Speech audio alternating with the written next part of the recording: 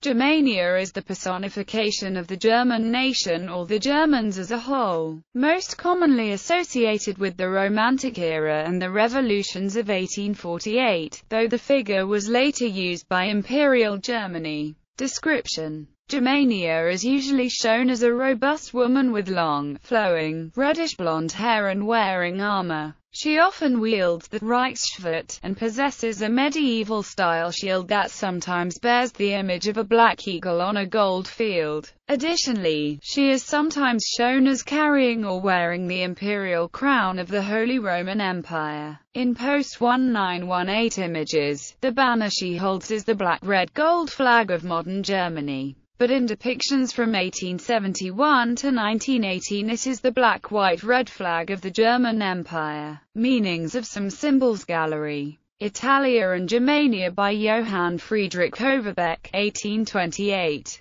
Fresco by Philipp Veit, 1834-36. She is holding a shield with the German Confederation's arms. The smaller shields are the arms of the seven original electors of the Holy Roman Empire. Germania Awakening by Christian Kohler, 1849. Germania at the Watch on the Rhine by Hermann Wislicenus, 1873. Statue by Johannes Schilling, 1877-83, part of the Niederwald-Denkmal near Rüdesheim am Rhein. Statue from Bismarck Memorial in Berlin, 1901. Germany 1914, by Friedrich August von Kaulbach.